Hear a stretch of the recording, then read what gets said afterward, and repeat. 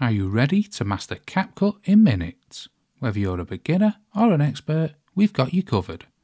This is part of our library of quick CapCut tutorials for easy editing solutions. And in this one, I'm going to show you how to split screen in CapCut.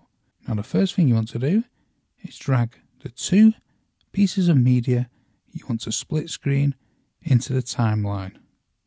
Now, the easiest thing I found, as they both overlay each other and you want to be able to see where each other is, is to highlight one of the clips, come to video, then basic, and come down to opacity and make one of the clips opacity much lower, like this.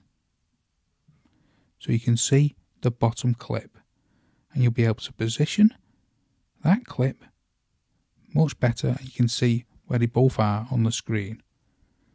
Then we can highlight the clip again once you're happy and make the opacity back up to 100. Now, once you're happy with the position, we can come up to video, then mask. You can choose any mask you wish. I'll choose this horizontal one here.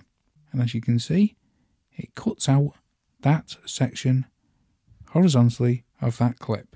We can adjust it like that. We can adjust it on the screen and you can move it any direction you wish. Then you can press play. And as you can see, we've now split the screen in CapCut. You can make the split screen any direction with the mask feature. So that's how to split screen in CapCut.